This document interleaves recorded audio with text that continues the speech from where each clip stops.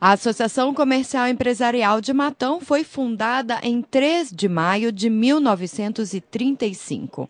Neste ano, completa 80 anos, com conquistas, ações e prestação de serviços que beneficiam os empresários e a sociedade matonense.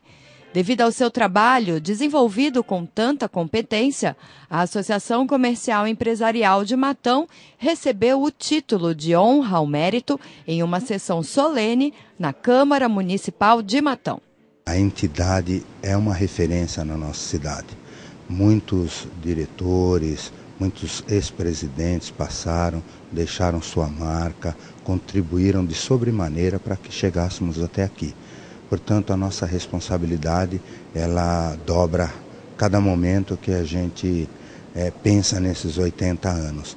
Mas é muita alegria, muita satisfação ter tido essa oportunidade de Deus para estarmos aqui para celebrar com todos. O título de honra ao mérito para a Associação Comercial e Empresarial de Matão está de acordo com o Decreto Legislativo número 3 de 2015, de autoria do presidente da Câmara Municipal, Sandro Aparecido Belintani Trench.